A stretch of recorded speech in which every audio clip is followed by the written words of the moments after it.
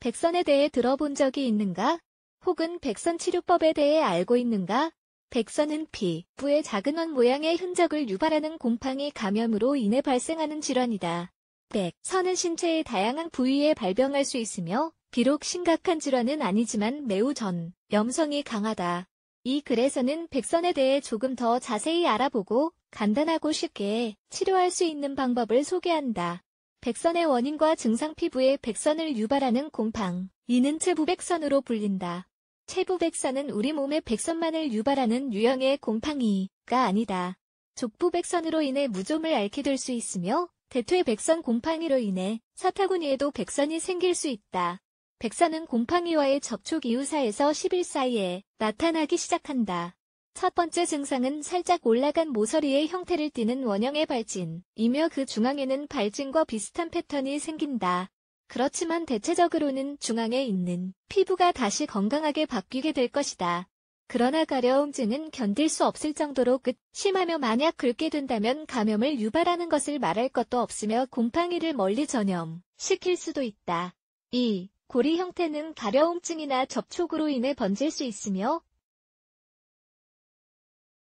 신체의 다른 부위에 퍼지거나 더큰 고리로 변할 수 있다. 심각한 경우 고리에 물, 즙이 잡히거나 고름으로 가득 찬 상처로 번질 수도 있다. 백선은 직접적으로나 간접적 인 방법 등 다양하게 전달될 수 있다. 예를 들어 감염된 사람 혹은 곰팡이가 있는 반려동물과의 직접적인 피부 접촉을 통해 번질 수 있다.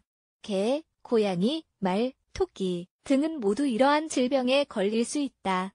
아이들은 성인보다 훨씬 더 감염에 취약하다. 또한 백사는 감염될 확률을 높일 수 있는 수많은 위험 요소가 있으니 성인들은 이에 주의를 기울여야 한다.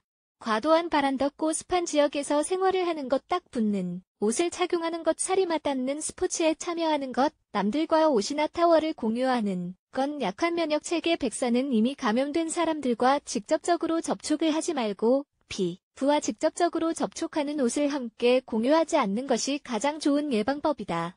또한 반려동물의 정기 검진을 잊지 말고 목욕 후에도 잘 말려주는 것이 중요하다. 특히 발가락 사이, 다리와 사타구니 아래 백선을 치료하는 민간요법 특히 의사가 처방, 한 약을 사용하고 싶지 않거나 약국에서 구매한 항진균 크림 혹은 로션을 보완하기 위한 또 다른 치료법을 원하는 경우 다음과 같은 백선에 대한 천연 치료법을 권장한다. 1. 마늘 마늘은 확실히 항진균 작용을 지니고 있으며 이로 인해 백선 치료의 경우 훌륭한 동반자가 될 수 있다. 처음에는 약간의 따끔거림이 있을 수 있지만 이는 자연적인 현상이다. 그 이점을 모두 누릴 수 있도록 최대한 오랫동안 마늘을 피부 위에 올려두는 것이 좋다.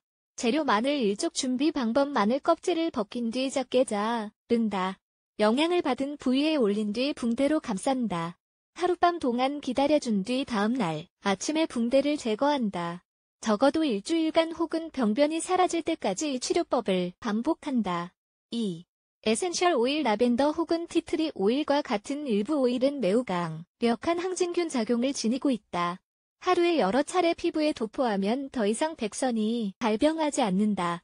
재료 물 2컵 20ml, 에센셜 오일 2스푼 30g, 준비. 방법 작은 그릇에 물과 선택한 에센셜 오일, 라벤더 또는 티트리 오일 중을 넣고 잘 섞어준다. 영향을 받은 부위에 도포한 뒤 천이나 거즈로 덮어준다. 몇 시간 동안 기다린 다음 드레싱을 제거한다. 한 달간 매일 3회씩 반복하여 사용한다. 3. 사과, 식초 사과 식초는 많은 마법과도 같이 많은 특성을 지니고 있는데 그중 두 가지는 바로 항생 및 항진균 효과이다. 사과 식초를 처음 사용하면 느껴지는 따끔거림은 지극히 정상적인 현상이다. 시원한 식초를 사용하여 따끔거림을 진정시켜보자. 재료 사과 식초 1스푼, 10ml, 준비 방법 거즈, 천 혹은 소매 사과 식초를 적신다. 병변에 올린 뒤 가볍게 눌러준다. 마를 때까지 기다린다. 하루에 3에서 5회 정도 반복해준다. 4. 소금과 식초 영향을 받은 부위에 직접적으로 치료제를 도포하면 자극적일 수 있지만 매우 효과적이기도 하다. 재료 소금 1스푼, 10g, 식초 1스푼, 10ml, 준비 방법 작은 그릇에 소금을 넣고 식초를 조금씩 부어가면서 잘 섞어준다. 페이스트 형태가 되면 병변에 직접 도포한다. 조심스럽게 펴발라준 뒤 5분 간 기다린다. 따뜻한 물로 헹군 뒤 깨끗한 수건으로 가볍게 두드려 남아있는 잔여물을 제거한다. 최소 일주일간 하루에 2회씩 반복하여 사용해준다. 5. 알루미늄 소금. 알루미늄 소금은 발환작용을 한다. 이로 인해 땀 생성을 막아주며 곰팡이의 번식을 예방할 수 있다. 재료 알루미늄 소금 1스푼, 10g, 물 1잔, 200ml, L. 준비 방법 소금을 용기에 넣은 뒤 천천히 물을 넣어가면서 잘 섞어준다. 페이스트가 완성되면 백선이 있는 부위에 도포한 뒤 6시간 동안 기다려준다. 하룻밤 동안 두는 것도 좋다. 미온수로 헹궈낸 뒤 문지르지 말고 건조시킨다. 일주일간 매일 반복한다. 염두에 두어야 할 사항 위생을 지키고 있는지 확인하자 엄격한 위생 습관을 고수하는 것이 비록 흥미롭게 들리지는 않지만 감염을 예방하거나 감염 후 치료를 하는 데 가장 효과적인 방법 중 하나이다.